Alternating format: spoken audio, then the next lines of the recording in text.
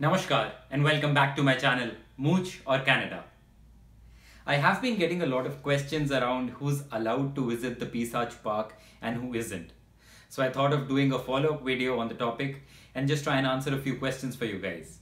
So I did a video a few weeks back telling you about a Peace Arch Park that exists between Blaine, Washington in the US and Surrey, BC in Canada, where even with the travel restrictions in place, you can still go there and meet your friends and family who stay across the border. Yes, that's right. If you haven't watched that video, I'll drop a link in the description. Please do go back and watch that. Before we move on with the video, please do subscribe to the channel and smash that like button. It really helps me stay motivated to keep making these videos. Let's dive in.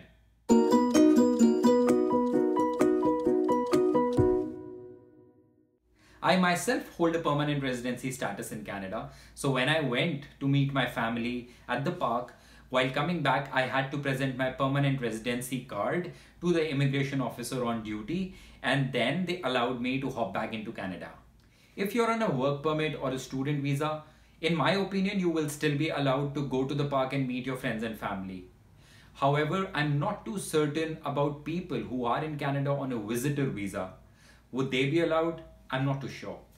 Being from a different country and maybe also new to Canada, all of us have an inhibition of walking up to, to an immigration officer or a cop to ask something or get a clarification. But in my experience, the immigration officers and the cops who are placed at the park are very helpful and supportive.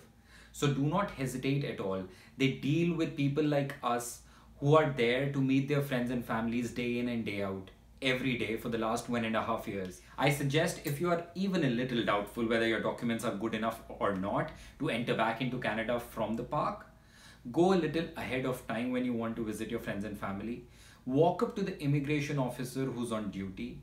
Show your documents to that officer and ask them whether you will be allowed to enter back into Canada or not without any hassle. The officer on duty will be happy to help you with it. Worst case, if the officer says that your documents are not good enough, you cannot enter the park, you can still meet your friends and family. Yes, you heard me right. There is a way out.